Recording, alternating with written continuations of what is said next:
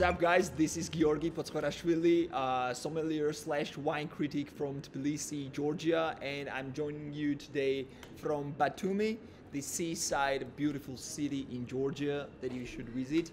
Uh, and for today's video, I'm partnered with the Qvevri Wine Georgia, who are bringing beautiful, nice wines to California. And right now, I'm in a Symposium Wine Shop and Lounge, and I'm gonna be trying some uh, Saperavi of here. It's uh, 2019 uh, Saperavi from Koncho and the Company. Let's see what we got today.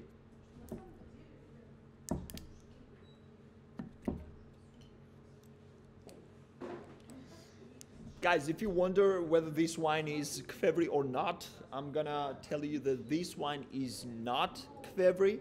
Uh, always states on the label when the wine is or was made in Qvevri. So this particular wine is not made in Qvevri. It's stainless steel, uh, some just tiny bit of oak presence that might expected in this wine because it was aged uh, in the oak barrel for a few months, uh, not the new one. But uh, usually Koncho uses some oak just for micro oaks, so the wine develops. The structure is more rounded, more settled. The fruit is more developed in the even in the young wines. So it's like 2019 Saperavi from Koncho and Company. Let's see what we got here. So it's like medium ruby, medium like I don't know. Uh, yeah, I would say medium, medium minus uh, ruby, not uh, too extracted for sure. It's uh, well, no. I wanted to say it's see-through, but with the Saperavi, if it's not made uh, like a rosé, nah, you're not gonna see through anyways. So let's dig into the wine.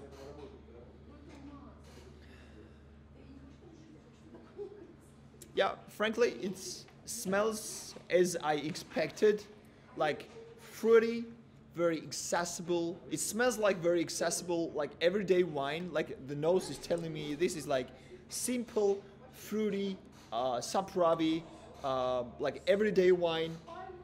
But let's confirm it on the palate. Let's see.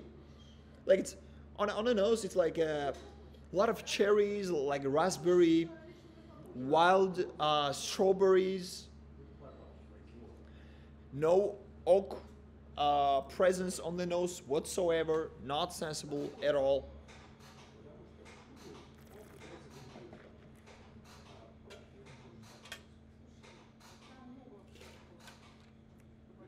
Yeah, this is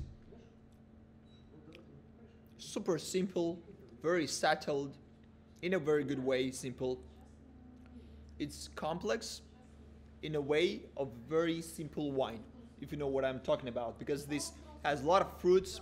It's super expressive, easy to understand wine, as I said, and it's like just as I expected. Fruity, easygoing wine with medium, medium minus alcohol, everyday wine. Like maybe I would even, if I'm on the mood of uh, red wine on the party, I would go for this wine. This is really nice and juicy. Maybe like after party when you like when you are already hungry, had some uh, really nice drinks and cocktails, and you want to go back to the wine or something, and have some snack like burgers, pizza, or whatever, burrito, whatever, just whatever. It's it's really nice, juicy, easygoing, fruity wine that will really fit, fit any any any kind of uh, really nice uh, street food or whatever you call it, right? Mm. Yeah, very nice, very drinkable, accessible, and these kind of wines usually that have seen very little time in the oak and are from uh, stainless steel, and the, when it's Saperavi and comes from Georgia, it should be very uh, accessible in the price wise. So yeah, really nice, juicy, fresh wine, 100% of what I expected beautiful wine. So you can check the link down below in the descriptions to find these wines already right now in the California. and yeah, have fun with it. Cheers.